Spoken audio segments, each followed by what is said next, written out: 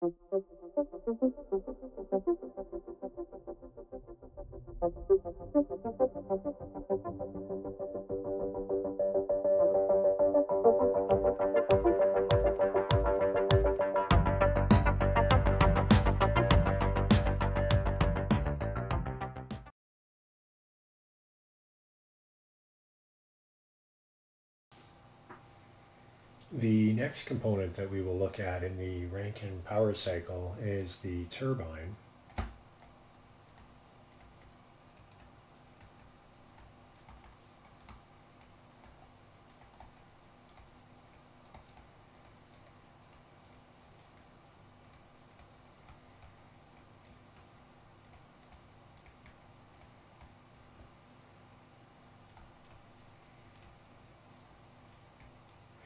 So within steam turbines, depending upon the size of the uh, power cycle that you're looking at, both impulse and reaction turbines are used.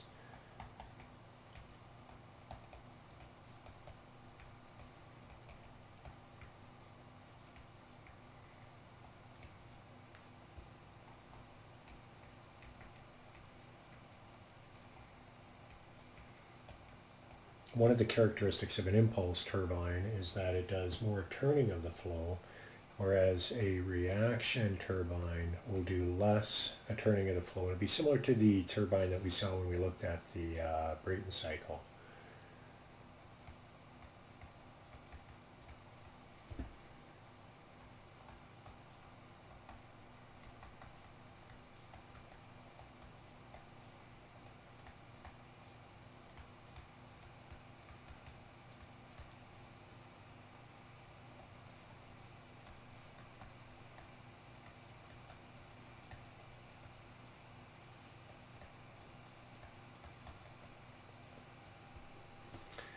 So what we're going to do now is uh, we're going to take a look at a couple of different images uh, collected for our of steam turbines. And this will give you a bit of an idea as to the magnitude and the size of these systems. So the first image shows a steam turbine. It's getting larger as you go towards the expansion. Uh, you can see very large bolts. We're dealing with very high pressures and temperatures. Quite often the lines will be insulated as shown in this image. And finally, in the last image, you can see the steam turbine open and the blades within the turbine itself. So that gives you a bit of an idea as to what the inside of a steam turbine would look like. Now, in terms of power output,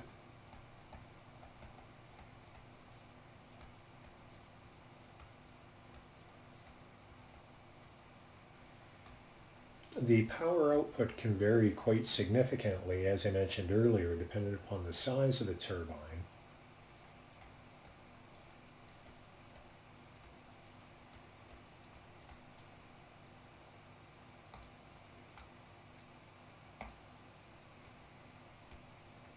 And I apologize for the mixed units here, uh, anywhere from a few horsepower, so a few kilowatts, to upwards of over a thousand megawatts.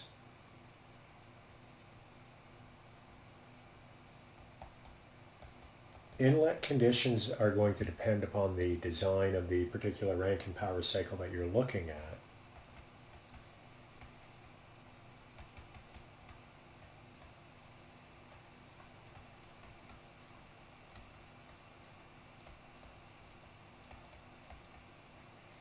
But typical 16 MPa, 540 degrees C, that would be in the range of values that you could expect for a standard steam turbine.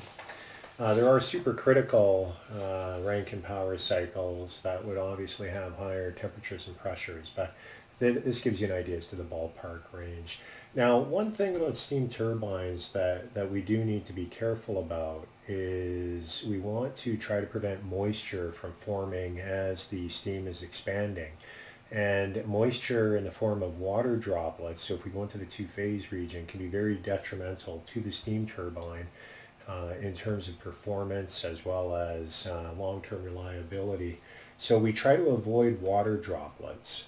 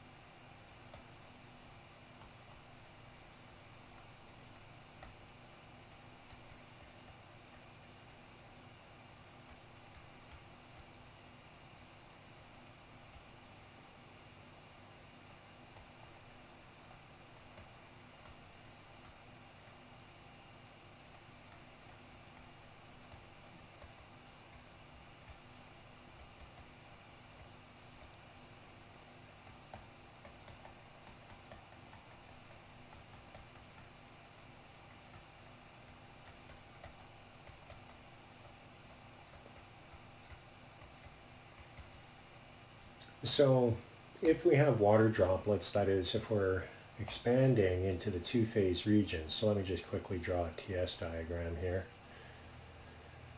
So we have our two-phase region, we're going through the pump, the boiler, we go into the superheated region. Now if we were to expand down into the two-phase region, that's what we're referring to here. So we want to try to avoid that because when you go across the uh, uh, vapor line, you start moving into the two-phase region and you get water droplets and those will impact the performance. And here we're saying that uh, the efficiency of the turbine or stage reduces by about 1% for each 1% of moisture present in the steam. So it's something that we want to avoid.